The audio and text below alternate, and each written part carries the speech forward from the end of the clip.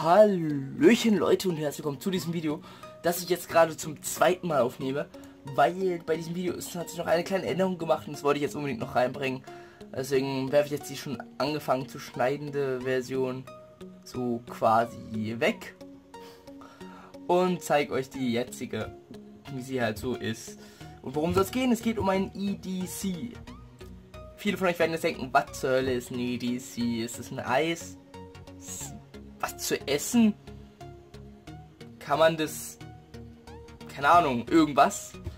Ein EDC, das habt ihr alle, nur nicht alle so ausgeprägt wie wir. Wer sind wir? Darauf komme ich noch zu sprechen. Für alle, die es jetzt ums reine EDC geht, ich werde irgendwo die Zeit hinpacken, wo ihr äh, direkt zum EDC springen könnt. Genau. Ein EDC ist das, was ihr täglich dabei habt. Es ist nämlich Englisch, heißt Everyday Carry. Ähm, kommt hauptsächlich aus der USA, wenn man so will, diese richtige Begriffsaus ja, Begriffsbezeichnung. Aber die meisten von euch werden als EDC haben ihr Handy, was ich gerade für Filme nutze, ähm, Schlüssel und Geldbeutel. Und die Leute, die dieses EDC ein bisschen mehr ausführen, die werden halt viele Sachen, die das tägliche Leben noch mehr einfach vereinfachen, äh, sich zuholen, sich in ihre Taschen stecken, in ihren Rucksack, in ihr Auto, um eben ihr Leben einfacher zu machen. Genau. Dazu gehören meistens Sachen wie Taschenlampen, Taschenmesser, kleine Spielereien, sowas. Fangen wir einfach mal an und ich wundere, mein Hände ist ganz schön zerschrammt vom letzten Waldaufenthalt.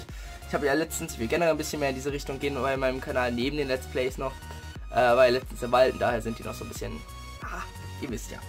Fangen wir einfach mal wirklich an mit dem, was jeder dabei hat. Das hängt da oben, nämlich mein Samsung Galaxy S7 Edge in einer relativ robusten Hülle.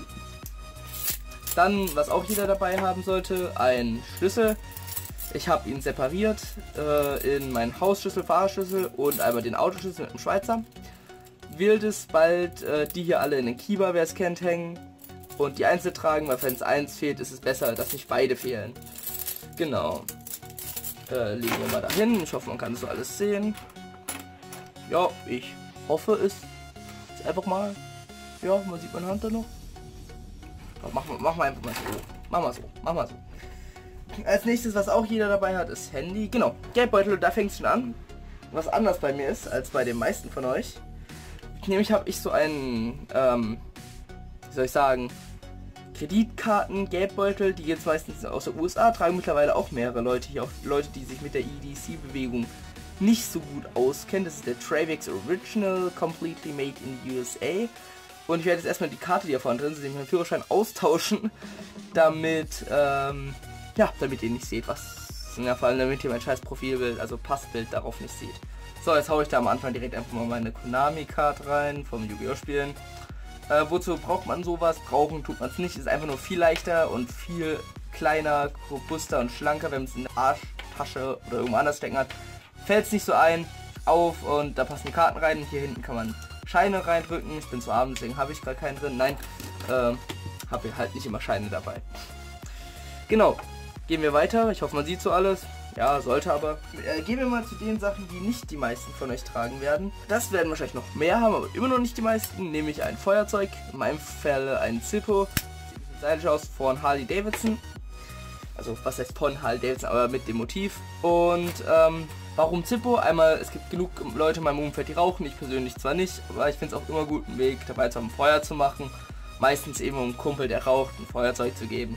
Ganz simpel, auch wenn ich kein Raucher bin, man ist doch freundlich. Was haben wir als nächstes? Als nächstes haben wir mein Messer, was ich dabei habe, nämlich da mein Schweizer Taschenmesser, das ist das Modell Tinker. Eigentlich das Standard Schweizer Taschenmesser, nur statt dem Korkenzieher mit einem Kreuzschlitz. Warum? Es ist wirklich sehr nützlich. Ich war in London letztes Jahr auf Studienfahrt und alle meinten so, ja Dennis, warum hast du ein Messer dabei? Das braucht doch kein Schwein. Gut. Tag später haben sie schon siebenmal ausgeliehen gehabt, weil es doch nützlich war. Äh, man braucht es nicht unbedingt. Ich sag, man kommt auch gut durchs Leben, das ist gut. Man kommt durchs Leben durch ohne. Aber sobald ihr mal eins dabei habt, werdet ihr merken, dass man es für viele, viele kleine Sächelchen benutzen kann. Ja, die halt sonst etwas aufwendiger wären. Was habe ich noch dabei? Meine Taschenlampe, das ist die Nightcore MA20. Das ist ein wunderschönes Stück mit verschiedenen Lumenmodi, die je nach Batteriezustand noch gehen. Ich glaube, jetzt gehen gerade nur vier von 5. Ich benutze aber eh meistens nur den zweiten, weil 1000 Lumen braucht man normalerweise nicht. 50 sind da schon besser. Einfach, warum? Wir haben so eine Taschenlampe dabei, also im Handy meistens. Aber es ist einfach viel zu fricklich, immer das Handy aus der Hosentasche rauszuholen, die Taschenlampenfunktion anzuschalten und es saugt fucking viel Akku. Deswegen äh, bin ich auf Taschenlampen umgestiegen. Sie sehen auch außerdem noch sehr cool aus, finde ich. Haben viel höhere Leistung, sind in dem Fall auch Micro-USB ladbar, also kann ich sie überall laden, weil Micro-USB-Kabel gibt es überall. Ja, also sind super, super viel besser, sagen wir auf jeden Fall mal, als, Taschenla äh, als die Handytaschenlampen. Als nächstes, was haben wir dann noch? Wir haben in meiner Hosentasche noch ein paar Glücksbringer, zu denen unter anderem ein kleiner Block gehört, so, den ich mal bekommen habe. So von wegen fahren die schneller als dein Schutzengel fliegen kann. Ich fahre 200 und bis jetzt kann der Schutzengel noch ganz gut mitfliegen eine 7,62 x 51er Patronenhülse aus einer G3. In anderen Ländern darf man mit sowas ja noch schießen. Was habe ich da noch dabei? Ich habe einen Gürtel von MD Textil an, den ich euch jetzt nicht zeigen würde, weil sonst wird es irgendwie ein bisschen zu awkward werden. Was ich noch zeigen werde, ist mein äh, Bandana. Stimmt, das darf ich jetzt nicht vergessen. Bandana ist ein Hals, Kopftuch, Gedöns, kann man als das beides verwenden, als Halstuch, als Kopftuch. Hat eigentlich viele Verwendungen. Im Notfall kann man damit sogar, was weiß ich, es ist ein Baumwolltuch. Mit Baumwolltuch, da gibt es zig Videos auf YouTube, wo ich anschauen kann, was ich damit alles anstellen kann. Es ist halt einfach, lasst eure Kreativität freien Lauf von Sonnenschutz, Hals, Windschutz, Gedöns, über, keine Ahnung, irgendwas zusammenbinden geht mit solchen Teilen auch. Groben Schmutz aus Wasser filtern, wenn man jetzt mal ein paar von euch dieses Video sehen werden, vielleicht so ein bisschen survivalischer, taktischer denken. Geht auf jeden Fall vieles und ist vor allem auch ein schönes Stilmittel, auch wenn es bei mir schon mittlerweile sehr verkrampelt ist, ver heißt's. Ihr wisst, was ich meine. So, zusammengefaltet. Ähm, was habe ich noch als äh, last but not least? Okay, es ist das letzte Stück also. Sitzt sehr stiff am Gürtel in einem Inside Waistband Holster von MD Textil. Auch wenn mir eine Schraube mittlerweile abgefallen ist, weil ich sie nicht oft genug nachgezogen habe, bzw. vergessen habe, nicht damit gerechnet hätte, ist mir die äußerste Schraube weggefallen. Muss ich mir irgendwann nachkaufen. Sitzt aber immer noch super fest. Allem, dass er eh durch, die, durch den Guardian Angel zusammengedrückt wird. Was ist das? Für die, die es nicht kennen, die unter EDC-Leuten ein bisschen bekannter sind, werden wissen, was es ist. Es ist eine Pfefferpistole von Guardian Angel, also der Guardian Angel von der Firma Pixion aus der Schweiz. Es ist ein Tierabwehrgerät, in Deutschland zugelassen, ab 14 Jahre, ihr dürft es führen.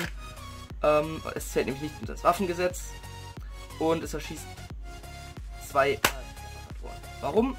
Ganz einfach, bei uns, also ich habe keine Angst vor Hunden, im Gegenteil, ich liebe Hunde. Ich bin selbst möchte zu Hundestaffel bei der Polizei und ähm, bin auch mit Hunden aufgewachsen, liebe Hunde wirklich. Aber ähm, auch wenn ich noch nie von einem Hund angefallen wurde, oder von einem Tier generell, es ist besser, sowas dabei zu haben, besser haben und nicht brauchen, als brauchen und nicht haben. Und im Notfall kann man es natürlich unter Paragraph 33 natürlich nur im äußersten Notfall noch als äh, Selbstverteidigungsmittel benutzen. Ist, finde ich, besser als diese typischen Spraydosen, auch mit Sprühstrahl oder mit Gel. Finde ich so, dass man besser zielen kann, meiner Meinung nach. Das ist immer persönliche Präferenz und darüber werde ich vielleicht auch noch ein Video machen. Das ist so, was ich immer in meinen Taschen habe. Habe ich noch was vergessen? Nee, manchmal gibt es noch ein, zwei Sachen mehr, aber äh, damit habe ich eigentlich alles abgedeckt. Ich habe einen Weg, gutes Licht zu machen, mein Hausschlüssel, mein Geldbeutel, ähm, bisschen was Feuer machen, Klinge ist dabei, Abwehrmittel ist dabei und Bandana. Ich finde, das ist eine gute Basic. Ich war, hatte früher viel, viel mehr Zeug dabei. Ihr könnt auf meinem privaten Instagram-Account, wenn ihr ihn findet, da mal schauen. Vielleicht werde ich da auch mal sowas machen auf meinem öffentlichen Instagram-Account, wo ich mich entschieden habe, den jetzt auch öffentlich auf diesem Kanal zu zeigen. Da werde ich da vielleicht mal so einen Vergleich machen zwischen früher und heute. Ja, ich hoffe, es hat euch auf jeden Fall gefallen. Euch gefallen diese Art der Videos, auch wenn sie anders sind als die Let's Plays. Ich wollte ein bisschen mehr von meinem Leben einfließen lassen, meinen Hobbys und ja, eben diesem EDC, das war, der erste Schritt dazu war das Let's Blade mit dem Ronin, Heikos, äh, Bison. Ja, äh, ja, natürlich, was ich noch hab, fällt mir gerade ein. Ich trage noch ein von einem Kumpel geknüpftes äh, Paracord Bracelet aus 550er Paracord. Ähm, hat er mir geknüpft. Sehr lieb. Oh, zwei, das sind zwei Zwillinge, die es mir geknüpft haben. Richtig lieb von den beiden.